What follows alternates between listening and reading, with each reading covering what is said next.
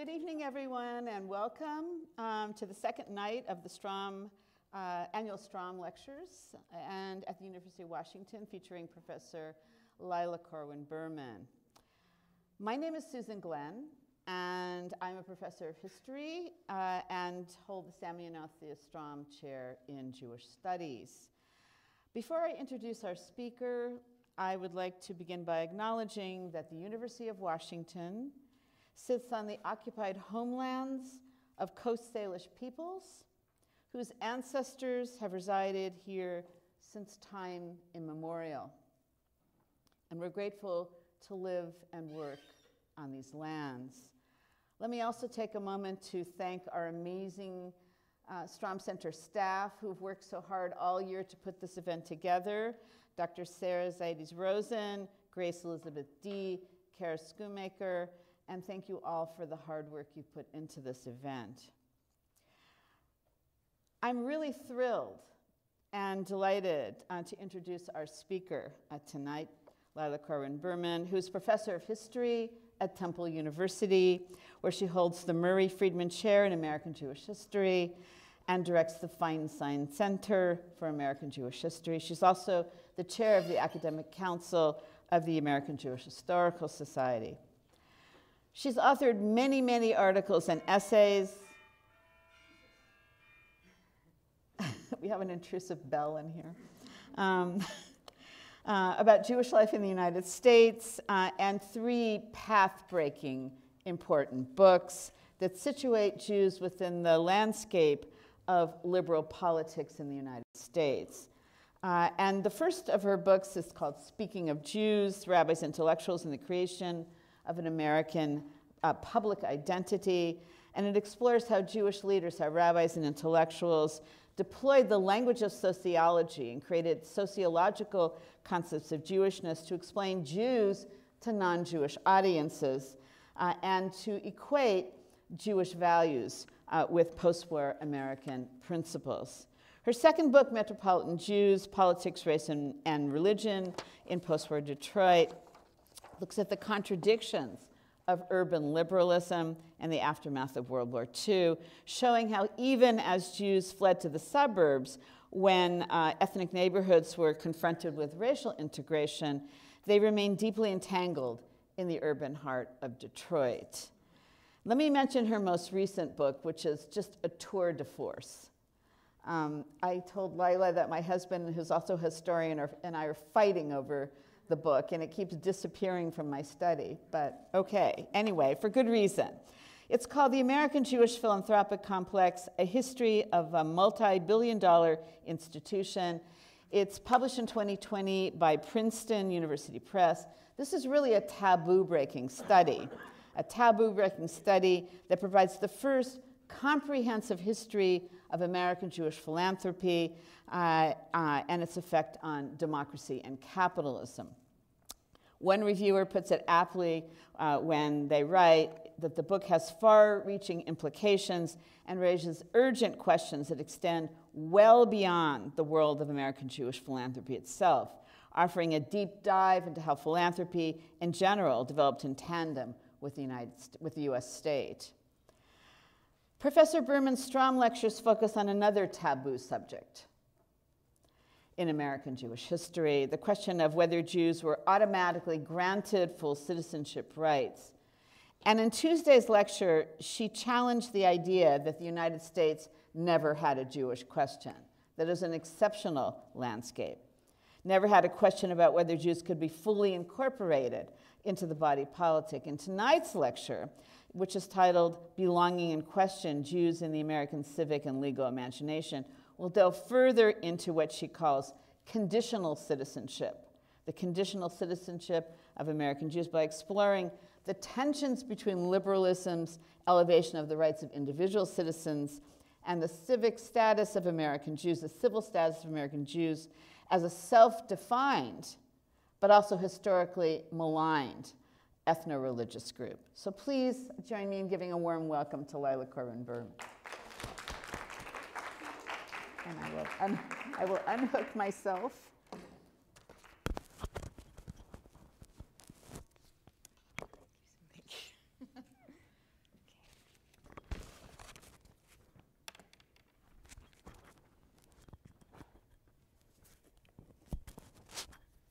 all very seamless. That's one. Is that all right? And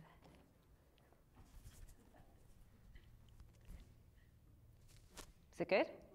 Okay. Um, I could get used to being introduced every other night. So I will call someone on, what is it, Thursday, on Saturday, and ask for It's just um, so lovely and so meaningful to be here and to have, um, you know, introductions from two of my colleagues who I just respect the most, whose work is so important. Um, and, and who have just, um, you know, really defined for me what it means to do good and important scholarship. So thank you, thank you, Noam, and thank you, Susan. And thank you all for being here tonight. Um, it's, it's really my, my honor to be here um, delivering these lectures. And um, some of you who were here on Tuesday evening now have had um, some time to cogitate, and I think I should admit I'm a little nervous. You've probably come up with lots of, you know, even harder hitting questions for me. And I also sort of promised to deliver answers to all the questions I didn't quite know how to answer last time. I said, well, wait for tonight's lecture. So there's kind of a lot riding on this, and, and we'll, see, we'll see how it all goes. But for those of you uh, who, who were here on Tuesday, I'll do like that little recap, right?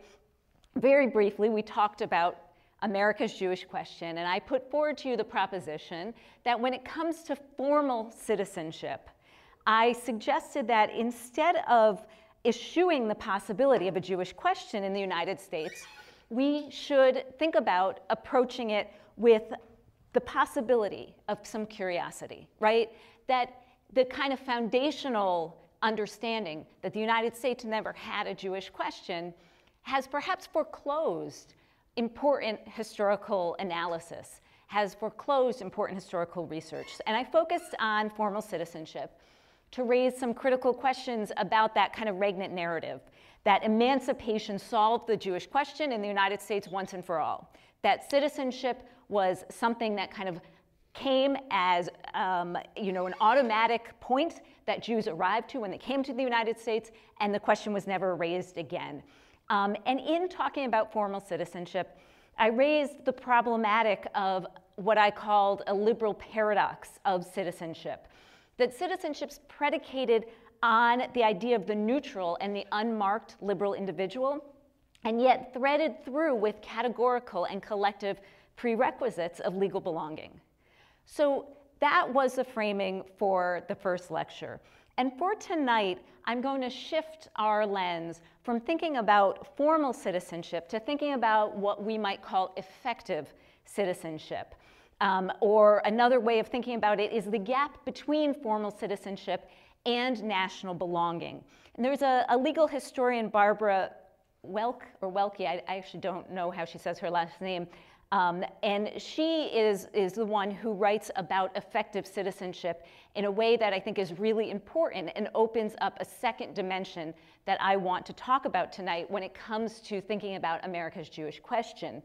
She writes that one might formally be a citizen and even enjoy particular rights and share obligations associated with citizenship, and yet not enjoy effective citizenship because one is not invested in law with full personhood. In its dismissal of America's Jewish question, my field has tended to assume full personhood, like formal citizenship, as exceptionally realized for American Jews.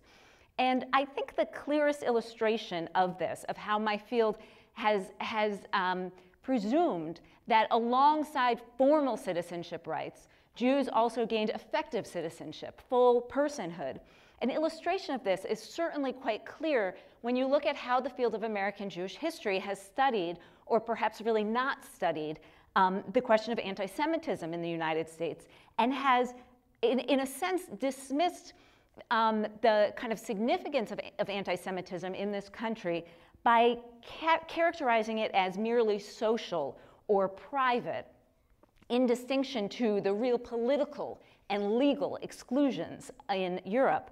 And the historian who was really credited with drawing this distinction and saying that, yes, it may be the case that Jews in the United States experienced certain elements of exclusion, but that that exclusion was never woven into the legal or political structure of the United States, is a mid 20th century historian named John Higham, who wrote about nativism and who wrote about immigration, um, and then in a couple of articles addressed specifically anti Semitism. And he wrote that social discrimination, the kind of anti Semitism that affected American Jewry most closely, owed very little to ideological sources, right? The idea that the kind of full personhood that Jews could realize was so exceptional in the United States because whatever anti Semitism may have existed in this country was on the level of sort of individual slights, private kinds of matters, was called a kind of social problem and was not a legal or political one. And this thesis, which I think is kind of a, a very clear illustration of the way that my field has tended not only to minimize the idea of a Jewish question, but to minimize any kind of jagged edges around the idea of full personhood. This thesis has been really controlling of how the field of American Jewish history has talked about anti Semitism. Um, and it's you know, gone through any kind of text that you can find after Higham wrote about anti Semitism, cites him and cites his thesis that anti Semitism, like other forms of nativism in the United States, is essentially anomalous. And it's something that comes about at times of social tension, and it's really quite removed from anything having to do with the kind of political or legal nature of the United States. So, for example, um, when Jonathan Sarna, an important American Jewish historian, responded to the Pittsburgh shooting, he repeated many of these kinds of theses and also repeated um, linking to this idea of anti Semitism those basic claims that I talked about on Tuesday that come out of the foundational idea that there's no American Jewish question, which is of America's exceptionalism, about the incredibly progress driven narrative of American Jewish life, and about the idea of a kind of, um, if not perfect, ever evolving toward perfection synthesis of American and Jewish life. Um, the idea that at root, the liberal ideal worked to grant Jewish full personhood, and that there was no Jewish question about Jews' formal or effective citizenship, has so grounded not only um, the broad inquiries of the field, but very specifically the way that Jewish exclusion and anti Semitism has been written about. So, the experiences that Jews had from within citizenship, not only from the edges of citizenship, help us understand, I think, what might be fruitful about actually imagining that there could be a Jewish question in the United States. And tonight, I want to explore what I think are two of the most important frameworks in American political life that promised to incorporate Jews into full and effective personhood. And I want to ask whether each of these, in fact, resolved the Jewish question, or perhaps they re upped it. Um, and I'm going to talk tonight about religion, about the idea of the Judeo Christian, and I'm going to talk today about race, about the idea of whiteness. And each of these offered a logic. And I think there's a parallel logic that they each offered. And I think you can only think this through by asking some of these um, questions about a Jewish question.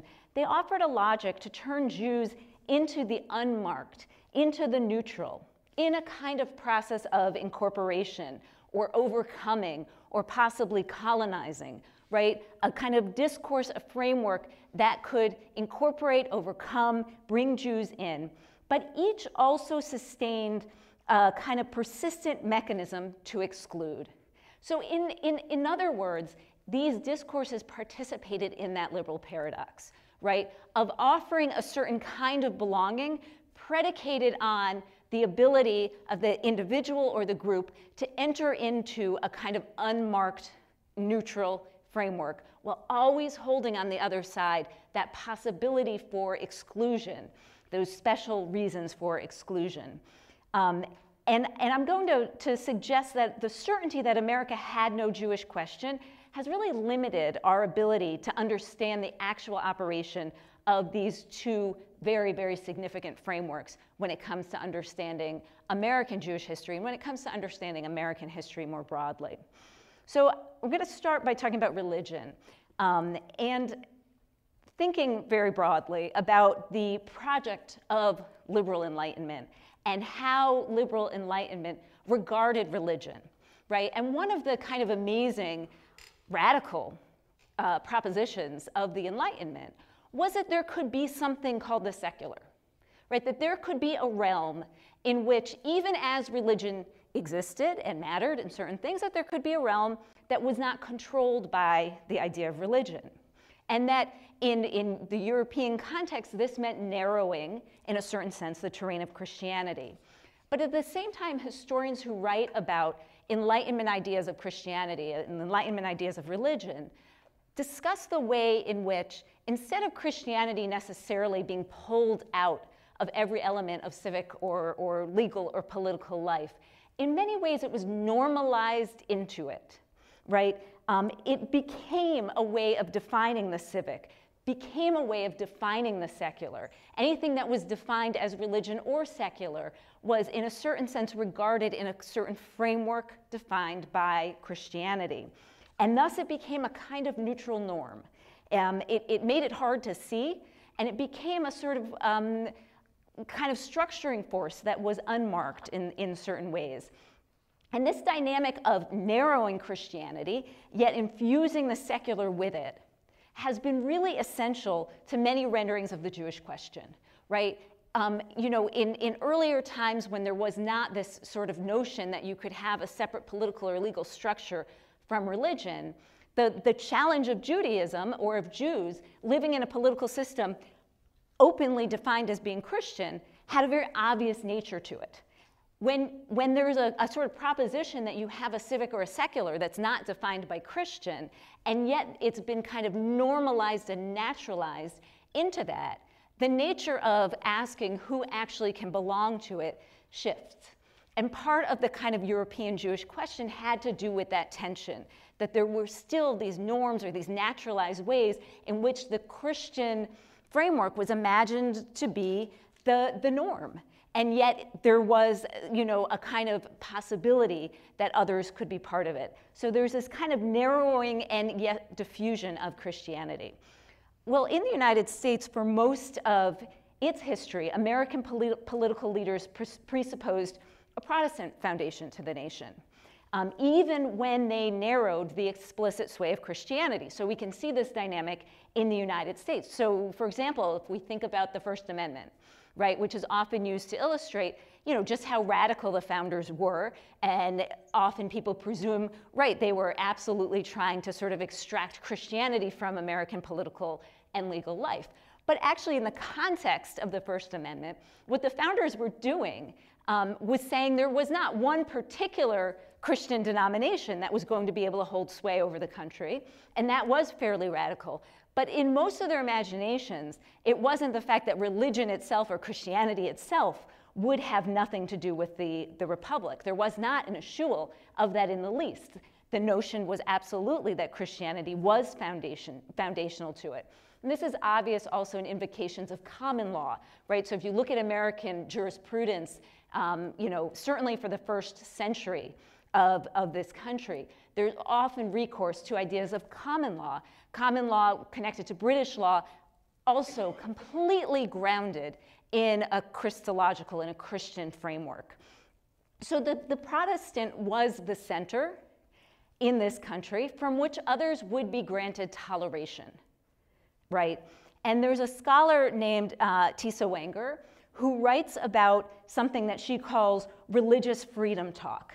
And she describes the rise in the late 19th century of religious freedom talk as a kind of regulating mode, right? If you think about what toleration is, how toleration works, it often does operate from a certain center, that there are the things that don't need to be tolerated because they are the assumed norm, and then there are things around it that then need to be designated as tolerable or intolerable.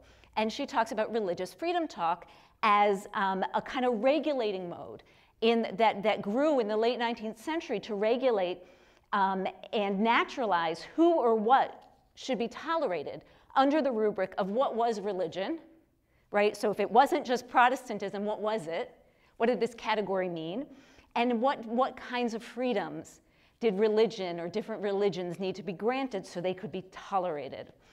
And in the early 20th century, uh, religious freedom talk really resolves into the language of Judeo Christian. And it's a kind of melding of Protestant assumptions about what counted as religion. And there's a lot of really excellent scholarship about the kind of Protestant ideal of what religion is, marking itself on all sorts of other non Protestant religious categories and sort of Protestantizing, that's a word, uh, all of those different kinds of categories. So the Judeo Christian melding Protestant assumptions of what counted as religion with a kind of philosophical idea of pluralism, of multiplicity. Um, and this generalized religion into a kind of both, a, a, a, on one hand, there's a narrowing of kind of the, the Protestant sway or the, the, even the Christian sway, and at the same time, there's a diffusion in this kind of um, Judeo Christian moment, in this religious freedom talk. Um, and it generalized religion into what Robert Bellah, who's a very important um, 20th century sociologist, would call a civil religion, that in his estimation shared much in common with Christianity. So, even from within the Judeo Christian moment, and there are lots of fabulous historians who've written about this Judeo Christian ideal and the kind of regulating force and the disciplining force and the inclusionary force of it. Um, but from this Judeo Christian moment, I think we actually can really see how the Jewish question reemerged as a question that was really indexed by Christian norms, right? It was defined by Christian norms, and that was, you know, a, a very kind of key characteristic of the Jewish question in European context as well, was what, what is kind of seen as the norm and what is the Jewish question sort of being asked against or indexed by. Um, and it's abundantly clear that this happens when you look at lots of different cases that have to do with how American law is thinking about the role of Jews, the role of their Judaism, and the kinds of protections or exclusions that can be tolerated. So I want to turn my attention to um, one particular case that I think really is going to help illustrate how important this sort of idea of Christianity functioning as a kind of neutral, a kind of unmarked norm against which, uh, against with, which Jews and their Judaism was always sort of being arrayed and arranged, tolerated, included, excluded. Um, and the, the case that I'm going to talk about is a case that has to do with something called Sunday laws. And probably some of you have heard of what a Sunday law is. And it's a case that starts in May of 1954.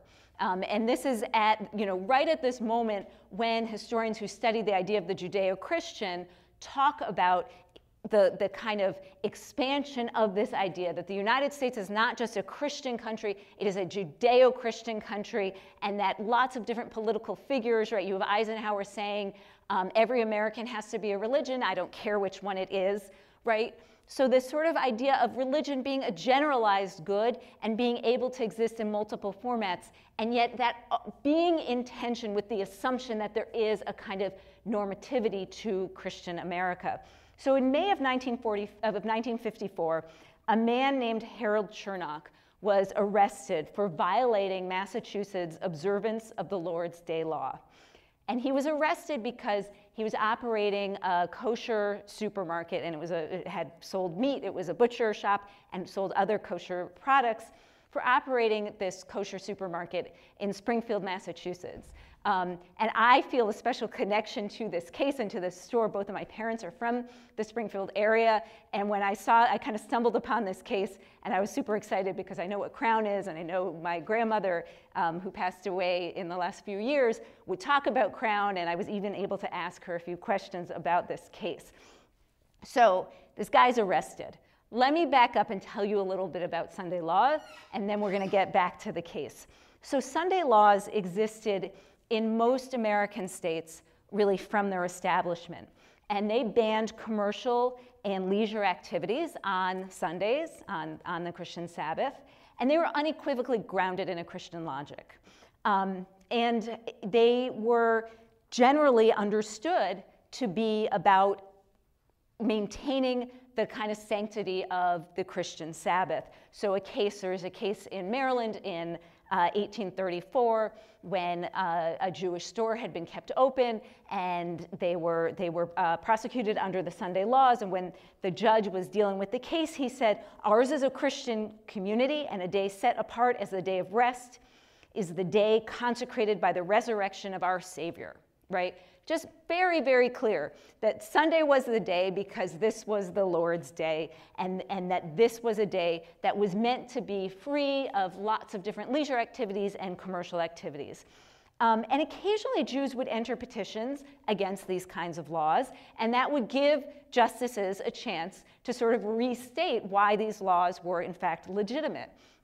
So, on one count, Jews would sometimes say this was an infringement of their economic rights because they were not operating stores on Saturday in observance of their Sabbath, and then they couldn't operate their stores on Sunday. So, unlike non Jews who only had one day when they couldn't be engaged in commercial activity, Jews had two days, and that infringed on their economic rights. Um, and sometimes they would argue it was an infringement of constitutional rights, though it depended on what state right? Because prior to the passage of the 14th Amendment, there was no sense that the First Amendment in the federal Constitution necessarily applied to the citizens of any particular state unless there was sort of interstate commerce or connections going on. So sometimes they would say that this was favoring one religion over the other and that that was unconstitutional. And in both cases, judges tended to say that these laws were completely legitimate because this was the Christian Sabbath and America was a Christian country. So, over and over throughout the 19th century, um, this is rehearsed. But by the late 19th century, there starts to be a new kind of defense of these Sunday laws. And that has to do with defending the laws as civil, right? As something done for the public welfare. So that they're not necessarily because the Lord our Savior, um, you know, designated this as the day to rest, but because there needed to be a day for the public good that people didn't have to work.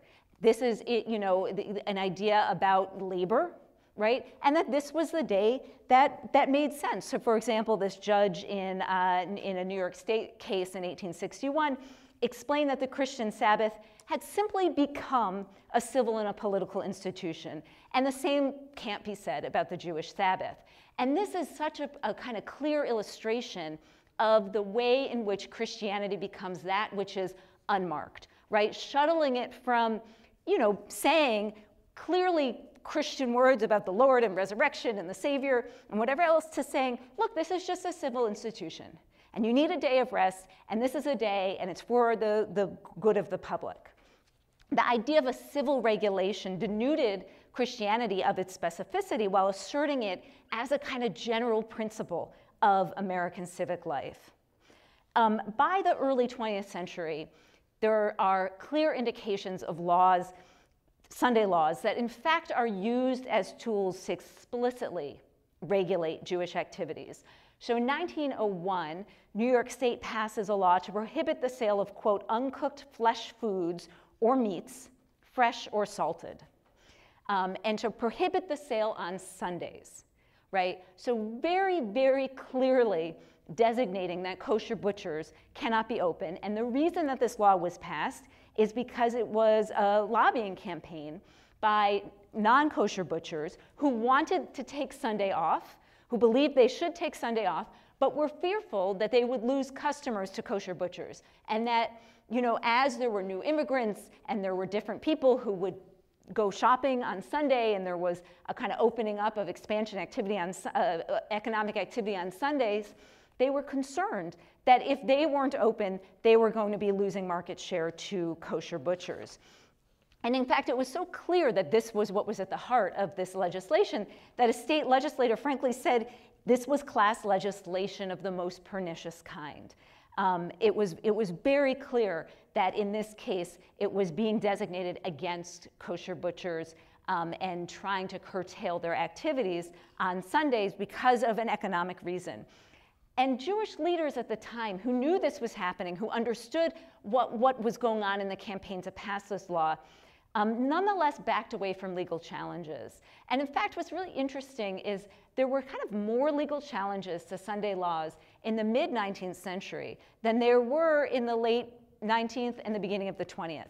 And there was like increasingly this sense um, that these laws were best to be dealt with in quiet ways. So, for example, trying to get certain exemptions to the Sunday laws.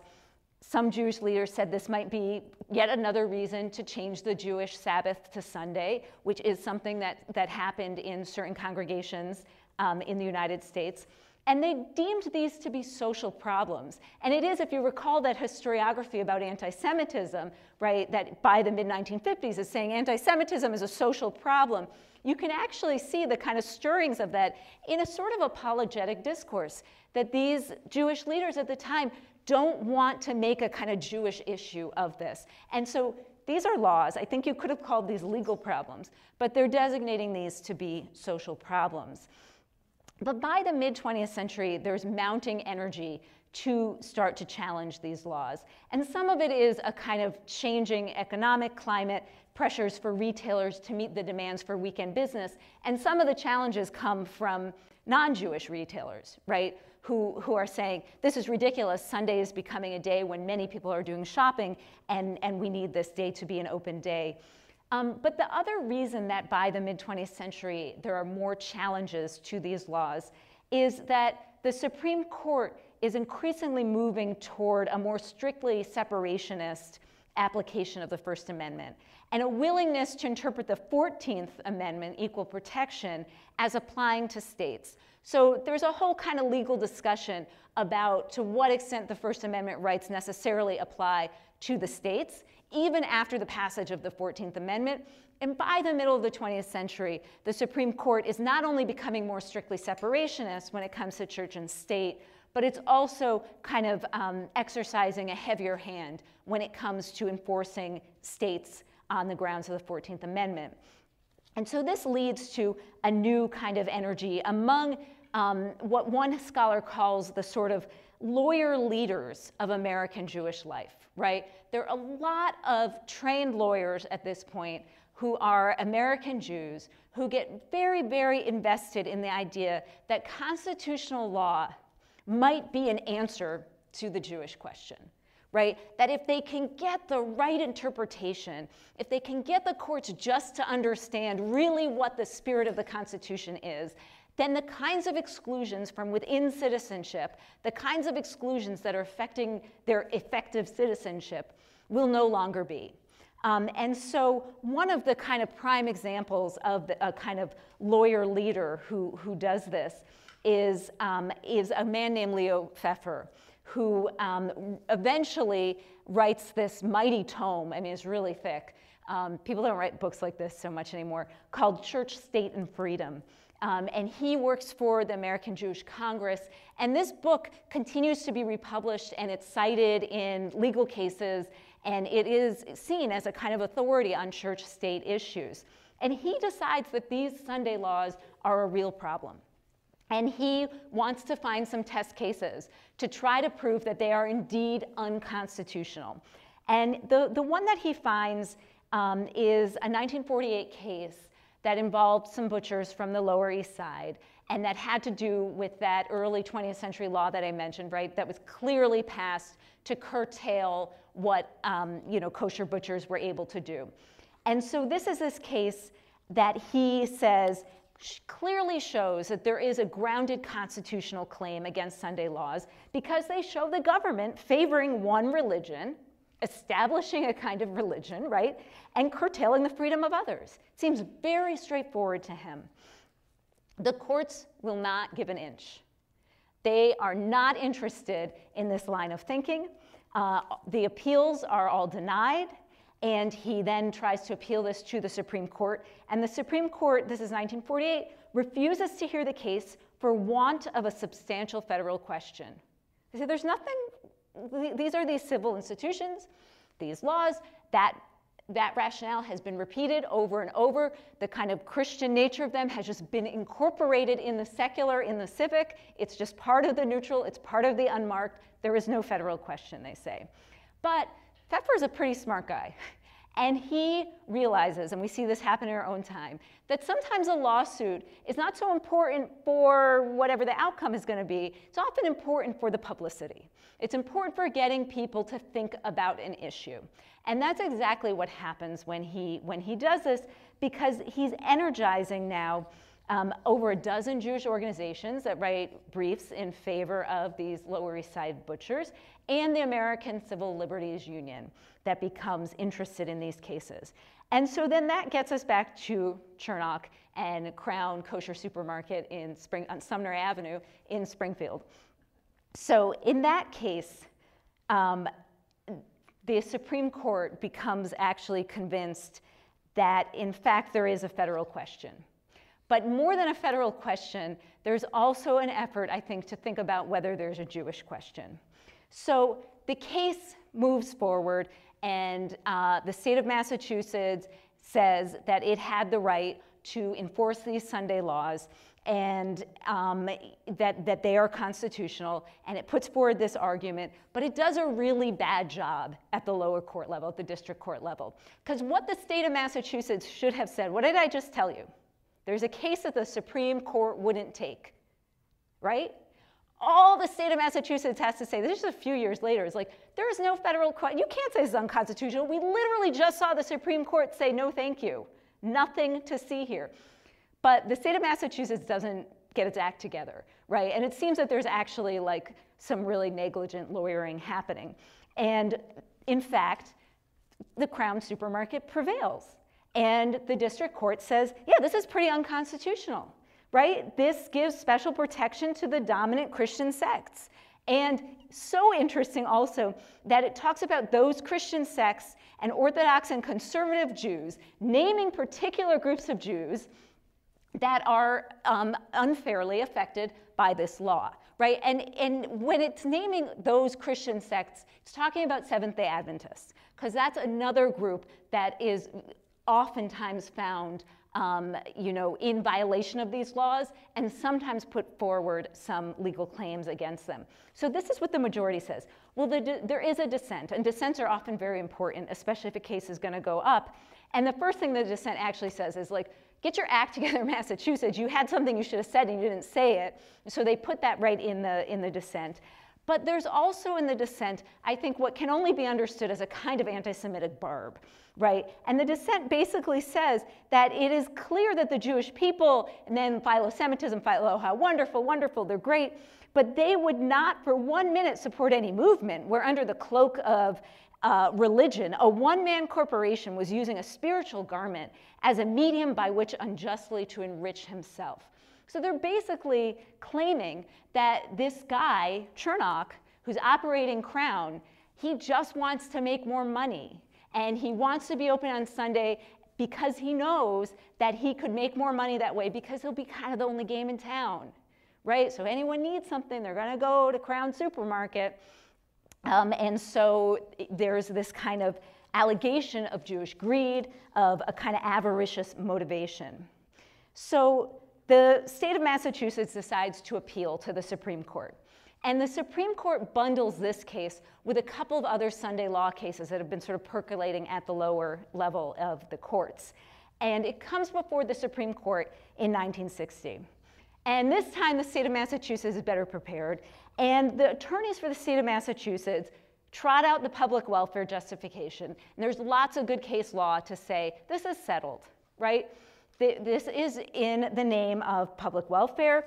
We need to have a day of rest for workers, for families. It's good for Americans. And if Sunday turned out to be the best day for the most people, so be it. And they argue that, and this is very legal, if there is an indirect consequence and it ends up impinging on other people's religious observance, that is not something that's on the state to have to remedy. An indirect consequence you know, it, it could be I was just walking by, my backpack happened to hit something and that hit someone else, it's not my fault, right? So if it's an indirect consequence, we're not liable for any kinds of constitutional issues. And they also say that if these people, right, meaning the Jewish people who are, who are asserting these claims, want to close their stores on Saturday too, that's fine, right? That there's no, there's no kind of actual affirmative thing that the state is doing to these people. They're just saying Sunday's a day of rest.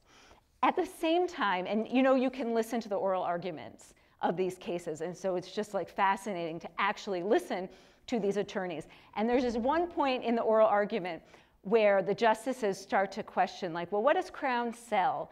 And the attorneys have kind of led them that way, and they say, well, they sell like National Biscuit Company cookies, right? They sell all the, like, it's not just food that Jewish people need to eat. And there's kind of this like laughter in, in the courtroom that, you know, why, why is this store that's acting like it's just selling things for Jews selling things like cookies and things that just any normal person would eat? And none other than Justice Frankfurter, right, who's, who's a Jewish justice on the court, he asked, well, are they also selling telegraph paper? And the attorney says, yes, they are. And everybody's kind of laughing. And this is this very like funny moment about how absurd the kind of pretense of, of kashrut or of religious law is for really what everybody seems to be starting to understand is just this community wanting to make more money. And it doesn't help that Chernock like falls asleep during the hearing and he's eventually escorted out by the warden. Um, so there's this sort of sense that this is all pretext for kind of economic greed. Now, the attorneys for Crown, and they, they are joined with a number of Jewish organizations that file amicus briefs and they say they're speaking on behalf of all Jews, that they believe this is unconstitutional. And they put forward the claim that this is a state establishment of religion, and that also this is a problem when it comes to religious freedom because there is an inherent value of pluralism. And they not only focus on the immutability of orthodoxy, right? So there's another interesting exchange where the justices are saying, well, if these guys were not orthodox, would this be a problem as much, right? So they're really saying this is an immutable religious tradition. And, and in fact, G Chief Justice Warren, in some of the memos, the court memos, says, he writes, the Orthodox Jews are a real difficult claim here because we can't quite say that this is something they could change. Um, but the crescendo of the oral argument that Crown puts forward is that these few people, those few groups in our society who are attempting to, re to resist cultural engulfment, right? They don't want to be incorporated. They don't want to be overcome. They don't want to be engulfed. They should be permitted to do so. That a pluralistic society and cultural pluralism is an American value, right? Really trying hard to push against that overcoming logic of Christianity as the unmarked civil regulation. So what does Crown, uh, what does the Supreme Court end up doing? They end up siding with the state of Massachusetts. So they, in fact, overturn what the district court had decided, and they say, in fact, these laws are not unconstitutional. It's absolutely constitutional to have Sunday laws.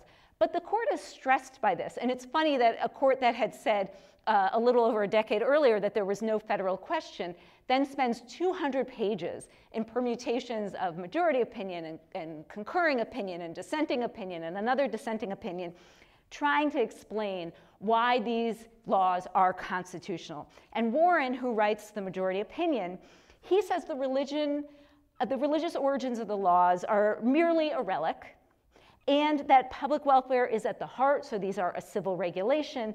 And because America is so diverse, the good of the many may sometimes have indirect consequences that harm the good of the few, but that's what it is to live in a diverse society. So he is essentially denuding Christianity under the rubric of talking about it only as a sort of relic of the origin and as a basis for the civil good. Um, in the dissenting, in one of the dissenting opinions, and, and there's more than one, um, Justice William Douglas, who, who authors it, writes, a legislature of, Christians can no more make minorities conform to their weekly regime than a legislature of Muslims or Hindus. Any other reading imports, I fear, an element common in other societies, but foreign to us.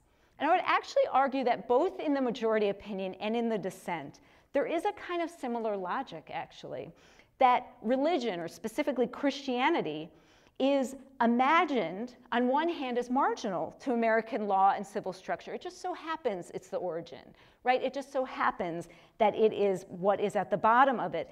And yet the irony was that this seeming diminishment of Christianity was actually bolstering its civic power. So whether deemed foreign to have religion at the kind of basis of American civic structure, and so the, his dissent is premised on the fact that in general, there isn't religion at the basis of American political or legal life, or named a relic, both of these opinions are sort of sidelining Christianity, trying to make it imaginable that it's not operating as this kind of force of the unmarked, of the neutral.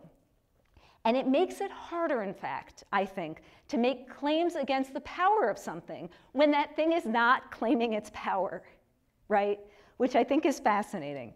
Um, it's harder to see how it operated. This is part of the process of naturalizing and normalizing. And in defining what Jewish lawyers were certain was Christianity, right? They're so frustrating. And just saying, no, this is a, you're wrong, this is a civil regulation. It undermines the effort to use the discourse of religious freedom to protect Jewish civil standing. If the Sunday Sabbath is simply a civil regulation, then how did those who did not mark that Sabbath fit into the civic? Actually ends up saying something really more profound about who does not fit in, because it's not just saying you're not Christian, okay, they know that, it's saying you're not even part of the civic. And if this is not a way of thinking about the Jewish question, then I'm not sure what it is. I think the only way, in fact, we can really understand what's going here, going on here, is by thinking about it as actually asserting a kind of profound question about difference, about collectivity, and about Jews. So, in other words, the civil religion of Judeo Christian America persisted in marking Jews as different, as the exception that needed to be tolerated or overcome, and sometimes could not be. So, I want to turn then to the second piece of tonight's talk and, um, and turn to whiteness. Within the realm I have America, uh, within the realm of effective citizenship, if one American discourse presumed to have solved the Jewish question was that of religious freedom, right? And I think that's absolutely one of the ways that people would assert there's no Jewish question in the United States. Uh, the other has surely been whiteness. Historians and social critics claim that American Jews became white in the decades after World War II, and that this, if, if, if it hadn't already been erased, then this absolutely erased the Jewish question, right? It's like the final you know, period on the end of the sentence that it has been answered, and that is it that Jews are white. And whiteness, like Christianity, served in that same role as the unmarked, as the neutral. So the question is how does the history of Jews, quote, becoming white change if we take seriously the possibility of a Jewish question? That whiteness, much like the idea of the Judeo Christian, I would argue, emerges less as a resolution and more as a new articulation of America's Jewish question in the second half of the 20th century. So by the 1960s, I think we can think of whiteness working as a kind of decidedly liberal way to talk about the successes and failures of American liberalism. So there's a kind of reckoning, right? And the idea is that whiteness worked for those people designated as white who could become the unmarked individual liberal subjects of American citizenship and personhood. And yet it wasn't working, whiteness was not working for those designated as not white, who needed to be given opportunities and tools to become unmarked, in a sense, to become white, right? And this is, is really the controlling logic of the idea of the civil rights movement. What are those protections that need to be given to those classes of people who are marked as not yet the neutral, not yet the unmarked citizens? And Jews enter the conversation about whiteness by self consciously marking their own whiteness and showing a great deal of anxiety about its terms, about the terms of being incorporated under whiteness. And it's that kind of, those two pieces of both very self consciously proclaiming to be on that side of this tension, but also feeling a fair amount of anxiety about what it means to mark themselves as white, that I think is really interesting to trace um, and, and helps us sort of understand the ways in which the sort of overcoming or incorporating logic of whiteness was itself also a kind of language of coercion and of disciplining, and also inherently was unstable, right? So, so those are some of the things that we're going to see. So in a really you know, well-known essay that Norman Podhoretz, who became the editor of Commentary magazine in 1960 and remained for 35 years in that position, he writes this essay in 1963 that probably some of you have heard of called My Negro Problem and Ours.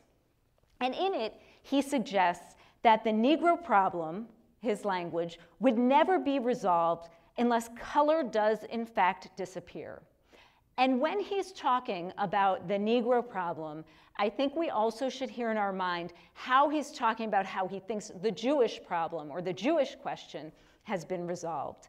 He argues that for black Americans, the only way that they could become white was, quote, let the brutal word come out miscegenation, right? So not just cultural assimilation or incorporation, but by a biological process of full overcoming incorporation, colonizing, whatever word you want to use. He classifies himself at this time as a white liberal, and he says that he believes that color can disappear. He believes in the possibility of color blindness, and that white is the neutral. So when color disappears, all will be white. That is the neutral, that is the unmarked. And he argues that Jewishness is, to an extent, a manifestation, right? That Jews have become white. And he, in fact, he, then this is where he gets a little confused and confusing. They have not had to do so via miscegenation. So this sort of helps him show, well, maybe it's a more natural or easy fit for Jews, that they can retain some element of distinctiveness and be white. But he's also putting forward the idea that ultimately the only way to be white is to be nothing else, right? So he's holding this kind of tension, even as he's kind of externalizing it as being really about the quote unquote Negro problem. And a kind of manifestation of the grappling that I think Jews are doing about whiteness in this period is the rising identification of black anti Semitism, right? This becomes a discourse by the late 1960s that's used to describe what is understood to be the kind of remaining anti Semitism that exists. And it's designated self consciously as black anti Semitism, a kind of self conscious pronouncement of Jewish whiteness, since the energy of animus against Jews must come from outside of the identity category in which Jews are part of. So in 1968, the American Jewish Congress has a series of talks at the 92nd Street Y on, quote, Negro Jewish confrontation. And these are coming on the heels of uh, Ocean Hill Brownsville, which was a very tense time in public schools in Brooklyn when um, black communities were calling for more community control over schools, and many of the teachers and leaders of those schools were Jewish. And so that's sort of the context in which these conversations are held. And in them, so hundreds of people come to these talks, and there are Jewish leaders from the American Jewish Congress who are talking, and they invite some black leaders, and they're trying to sort of puzzle this through. And from the very beginning, the Jewish leaders are saying in a, in a self conscious way that surely Jews are part of white America. So they say if you don't understand that all of us, white folk, grew up with views of black folk, then you don't understand this Negro Jewish confrontation. But they're also pivoting to a differentiation, saying things like the Jews did not hold Negroes in slavery, the Jews are not the white power establishment, right? So trying to kind of, again, much like Podhoretz, kind of play with the idea of like, just what is it to become the unmarked white? right? What does it mean to sort of fully assume this category? And clearly, I think in their mind is the essay that James Baldwin, the, the black thinker, uh, had written in, and, and, and fiction writer, novelist, had written in a 1967 New York Times essay where he asserts Negroes are anti-Semitic because they're anti-white, right? So if that's, if that's the category that has overcome and incorporated you, then yes, in fact, it's must be black anti-Semitism if, if we are incorporated into this category of white um, and, and, and so you see these kinds of rising discussions of black anti-Semitism also start to emerge by the 70s with discussions about quote unquote new anti-Semitism, right? Marking this idea that anti-Semitism can't possibly come from those places that had incorporated Jewishness, that had brought Jewishness in. And so it must be new, it must be something else, it must be from outside. Um, and the, the idea of new anti Semitism bundles together black and third world or Muslim actors as, big, as the biggest threats. And this makes sense, of course, in a kind of worldview where Jews and non Jews understood Jews as white and as the West and identified Israel in similar terms. So, a manifestation of this is an article that um, Letty Cottin Pogrebin writes in Ms. Magazine in 1982 called Anti Semitism in the Women's Movement.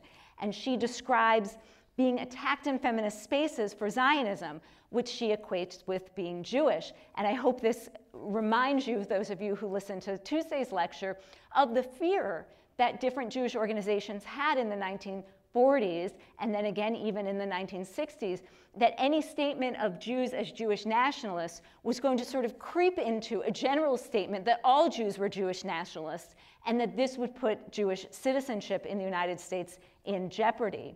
And she talks about how she began to wonder why the movement's healing embrace can encompass the black woman, the Chicana, the white ethnic woman, but the Jewish woman is not honored in her specificity. Um, and you know whether or not she's historically accurate about that kind of embrace, we could talk about um, separately. But she is arguing that Jews' specificity can't be honored, is not being honored, because they are presumed to be white, right? And her description of new anti-Semitism, which is front and center in this article, is about a stabilized and settled whiteness, as if it were a fact, a fact that had perhaps solved the Jewish question, even if it caused certain collateral damages or discomforts. And she and other Jews at the, the same time were not looking to unsettle whiteness as grounds of Jewish incorporation, and yet the grounds themselves were unsettled and unsettling. So, for the last case I want to talk about just for a couple minutes, um, I want to talk about a case that happens just as this article comes out. Um, and this is a case from 1982 when a synagogue in Silver Springs, Maryland, Silver Spring, Maryland, was vandalized with anti Semitic graffiti by eight reportedly white men who were convicted on criminal charges. But the synagogue leaders um, who are working with an executive director who's involved in this Jewish advocacy center start to think that maybe the criminal charges are not enough, that maybe there need to be civil charges as well, right? Because unlike a criminal charge, a civil remedy could identify discrimination as a motive. So they're starting to grapple with whether sh they should look for this civil remedy. And some of the lawyers they're talking to, and this Jewish Advocacy Center is, is sort of like modeled on a kind of Southern Poverty Law Center or something like that, trying to kind of put together cases that will bolster discrimination law. And the lawyers suggest that there's this 1866 civil rights statute that was passed right before the, the um, civil rights amendments were passed. It anticipates the 14th Amendment by giving people of every race and color the same civic protections enjoyed by white people right? So this is what the statute says. And that clause, enjoyed by white people, triggered the kind of anxious question in the case. If Jews were white, then could they find remedy under this statute? And before they even bring this claim, the, the members of the synagogue really are split on whether it's a good idea to bring this claim. And in fact, Jewish organizations start to weigh in, and they fear that filing the suit on these grounds would fuel a kind of putatively false impression that Jews were not white, right? Or synoptically that Jews were a race. And the synagogue decides only to move forward with this civil claim when the attorneys promise to make a kind of hybrid logic to the claim, which is that Jews are not a race, by which they mean that Jews were the unmarked, that they're white, but that in this case they had been perceived as one. So this is, this is the case that this is the claim that they bring forward. The lower courts reject it, and they rule that because Jews are white, they can't gain the protection under the statute. As whites, they were already the neutral, unmarked subjects of liberal law, so they're not a protected class. The lower courts say it's clear what this statute means, and, and if you're saying that Jews are white, which the attorneys say over and over that Jews are white, they're just being perceived as not being white, then you can't make this claim. The Supreme Court, however, is willing to entertain the case because of the inconsistency at a lower court where this same statute is brought by an Arab American who's claiming in actually a tenure discrimination case that he had not been tenured because he was perceived to be not white, and he uses the same 1866 statute, and the court accepted it. So to try to resolve this tension, the Supreme Court says, okay, in fact, we will take these, this case. And Jewish anxiety grows as it goes up to the Supreme Court. Liberal Jewish organizations that so often would be right there entering these amicus briefs balk. They, they don't know what to do.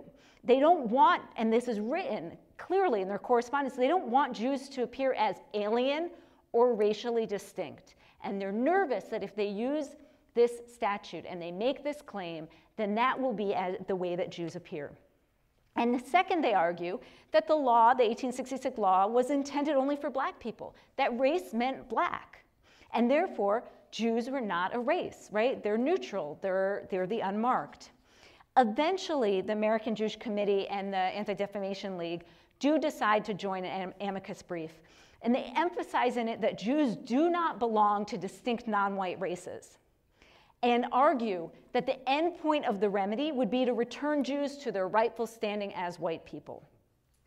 The ruling, it, which is unanimous, I'm always like, do you want to guess what it is? Okay, so the ruling is unanimous and it's for the synagogue. And the justices, however, construct a different case. They construct the case that they want to rule on, which is an originalist case. And they say, yes, Jews are white today, but they have standing to, to, to be given remedy under this statute because in the past, when the statute actually went on the books, they would have been perceived as a race. And what's interesting is in, in judging on this case and ruling the case, they consigned Jews to a retrograde status that reflected a time when it was more plainly understood that they were not the neutral subjects of liberal law, right? So they actually point out exactly the dynamic of what this incorporation or overcoming of Jewishness through whiteness looked like. And we might think um, together about how or whether this bears out an observation that James Baldwin again makes uh, this time in 1985 that it is probably um, it is probable I have it written wrong here, right on the slide, good. It is probable that it is the Jewish community that in America has paid the highest and most extraordinary price for becoming white. And I think what he is thinking about is what it means to have become overcome in this seemingly neutral, unmarked language that is constantly unsettling because of the sense that if, if there is a way in which Jews um, push up against or press up against those ideas of the neutral, then they can be excluded from that language. So in motion, we can see that whiteness was no more settled or stable than Judeo Christian or than citizenship, right? That even if historically each had provided Jews with myriad material benefits, Jewish belief in it did not settle it, but it empowered it. And whiteness has clearly done a great deal to overcome or tolerate Jewishness, but because whiteness has been unsettled constantly, it's a shifting logic of power, it never settled the question. Rather, whiteness embedded the question of Jews' categorical nature, their lurking difference from the unmarked in its own logic. So, to conclude, because I have a red eye flight, I have to catch home tonight, um, or else we could talk for a long time. Um, I want to make just a few suggestions about what I think America's Jewish question, question can do for the field and for our present.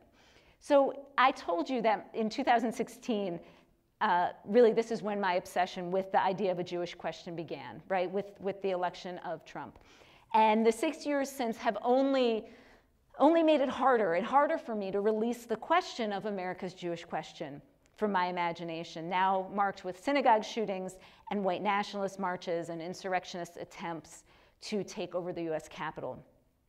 But I want to offer a kind of constructive conclusion to ask what can America's Jewish question teach us?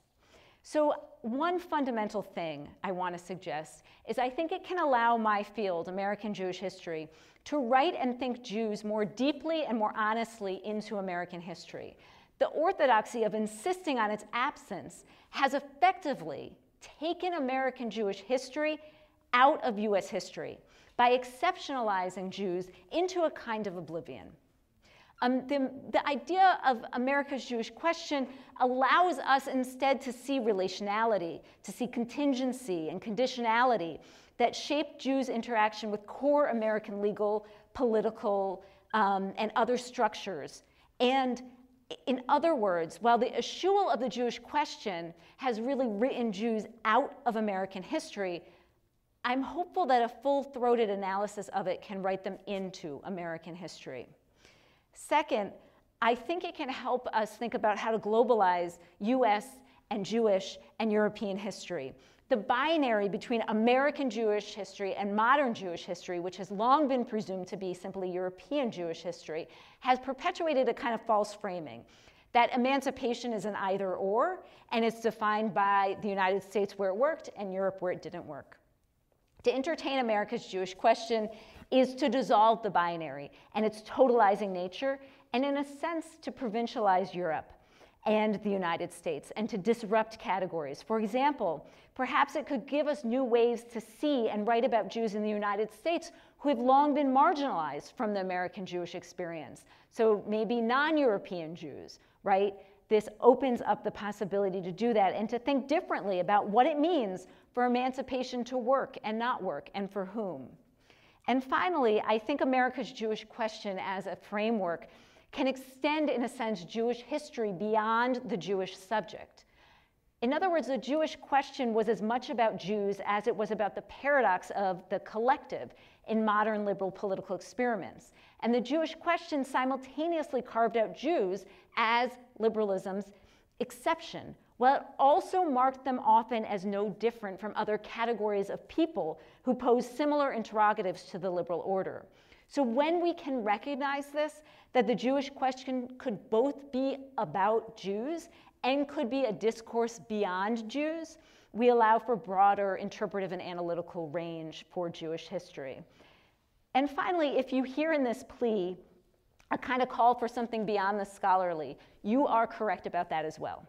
My hope is that by introducing a kind of curiosity about the Jewish question, as opposed to a certainty about its resolution or non existence, my hope is that we who live in this world today can unloose ourselves from narrow and what I feel are sometimes suffocating terms of current day discussions about inequality and injustice, including ones about anti Semitism, and that we'll think more precisely and productively about the broad structures of American life that have fueled systems of inequality in which Jews exist. We'll think about the prerequisites and conditions of citizenship, not citizenship as simply the answer to, Ameri- to the Jewish question. We'll think about the exclusions and inclusions of effective citizenship. And we'll be able to regard anti Semitism and the complications of Jewish life today as part of, not apart from, those structures that have fueled liberalism, perhaps despite itself. So then, when we seek ways to make improvement, to find justice, to find security, we'll look toward those structures as well as ripe for reform, that citizenship is ripe for reform, that these modes of ineffective citizenship that so many people struggle under are ripe for reform and remaking and re envisioning. So I hope we can proceed with sight and not with willed blindness, with an appetite for questions and not the false fullness of a question unasked but somehow already answered. Thank you.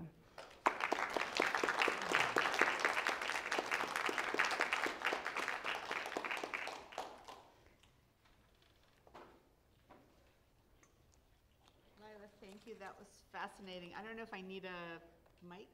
Do I need my own? I think it would be a good idea to use a handheld mic. Okay, where is that?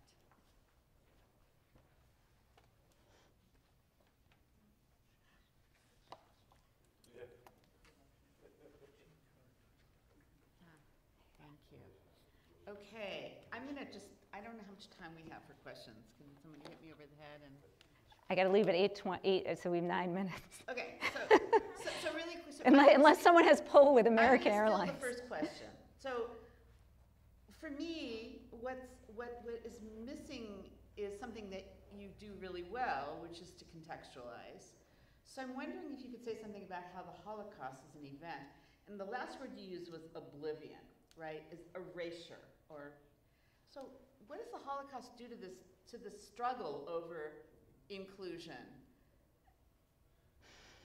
Sure, right. Yeah. So, you know, part of the way that the historiography, I think, has been so directed to this idea. Oh, I think I have to repeat your question. Okay, so the question that Susan asked is how the Holocaust kind of looms over all of this as a context. So, the, the way in which there's the assumption that the Jewish question simply didn't exist in the United States is tethered to you know, the historiography, the historians who are primarily writing after World War II. I mean, there are already people before World War II who are saying there's no Jewish question in the United States. After World War II, it becomes anathema to say that that's possible, right? And I think that part of kind of dealing with the trauma of the Holocaust is in part leaning into the sense of liberalism working in the United States, right? And I think it does affect the kind of willingness to be embraced, or, or the language I've been using is overcome by the ideas of the Judeo Christian and by the ideas of whiteness. Um, and I think it's impossible to understand the sort of vigor of, of that um, desire without thinking about the Holocaust. Okay, thank you. So, um, one of the audience members asked, why do you think historians like Jonathan Sarna uh, reify the exceptionalist narrative? So Sarna is, is not alone in really believing in the exceptionalist narrative. Um, in fact, I think that is definitive, it's defining of really, you know, more than one generation of American Jewish history. Um, and I think actually connected to the question you just asked about the Holocaust and its importance in terms of a tether of the kind of eschewal of a Jewish question, I think that the field of American Jewish history really came out of that same environment, right? So some of the same motivations and desires are undergirding how the field of American Jewish history has, has been defined. And I think that there is a kind of certainty in, in the ideas of American liberalism that have really grounded much of the field. But I also want to acknowledge that there are historians who are starting to ask very different questions because the field of American history has so clearly problematized ideas of American exceptionalism. I'm going to I'm going to kind of build on that and take it in a different direction. Do you think that the Holocaust as a historical crisis creates room for difference is there any way in which there's this paradoxical situation going on? On the one hand, there's this desire to erase difference. I'm talking about in the Jewish community, and particularly among Jewish lawyers who were using the First Amendment um, uh, to try to open up the concept of who is who is in and who is outside the circle of we. Mm-hmm. But as the Holocaust to kind of create this inward-looking um, uh, desire to have it okay to be marked. You see what I'm saying? So there's, on the one hand, the desire to kind of take away difference right. as a category. Yeah, I see. Yeah, so the question is like, does the Holocaust on the, at the same time sort of, um, you know, have this kind of universalizing, there's no difference, but also this sort of particularizing, right? Yeah, I, I think it absolutely does. I mean, and those are actually sort of the existential debates about even the meaning to be drawn from the Holocaust, right? Like, to what extent is it a universal thing, and to what extent, it, you know, must it be sort of understood as a very, very particularistic thing? Um, you know, and I think that that that tension is clear in, you know, if this were really just a story of these frameworks of, of Judeo-Christian or of whiteness simply in, incorporating Jews, um, none of this tension would be alive, right? But there's so much tension in this and in what, you know, what is surrendered and given up and what might be the false promises of assuming that Jews or even other collectives can just kind of enter into that unmarked category.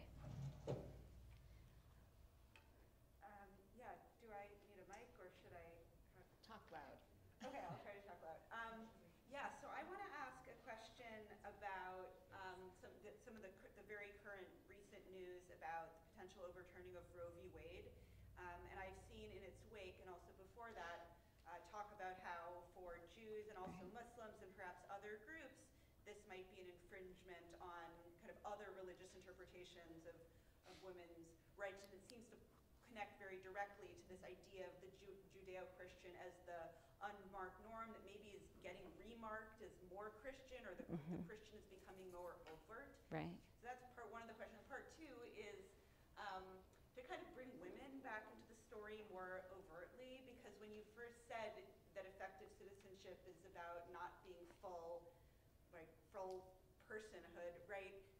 This ruling or potential ruling is raising the question of whether women as a category are full Absolutely. persons. So I guess these are two linked things coming out of this recent news. Absolutely. So the question is about how to integrate thinking about Roe v. Wade and the idea of whether overturning it may be an infringement of certain groups' religious freedom, and also to think about women and their effective or ineffective citizenship in light of the possibility of the overturning of Roe v. Wade.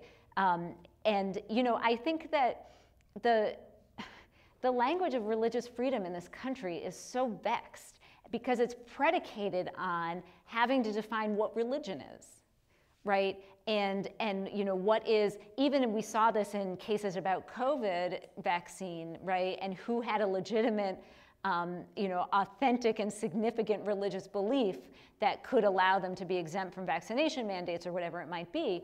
And you know the the idea of how to define what religion is and what it means to not establish religion and to offer religion religious freedom is is a kind of impossible idea right and it's only possible in a sense and this is why i think like it's just so clear that the founders were not thinking about just not having religion involved in the civic it's only possible when it's tethered or indexed by the thing which is imagined to be definitive of what religion is right and so you know i think that that's this this major problematic of any case that is, is being designated through a, a kind of um, you know, grounding in ideas of religious freedom.